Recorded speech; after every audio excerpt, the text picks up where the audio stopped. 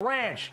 This guy in Phoenix, they ran him out of town. He goes to New England. The rush defense, that was the key to the New England defense, number one scoring defense in football. Number one, stopping the run against touchdowns. Number one of 10 plus yards runs, and number three overall in rushing defense. This guy was the best run defender they had. I love this guy. Big physical guy coming off the ball, could knock people back, got some bull rush. You have to love him. Seriously, this guy made a resurrection in his career. Whatever they're drinking in New this guy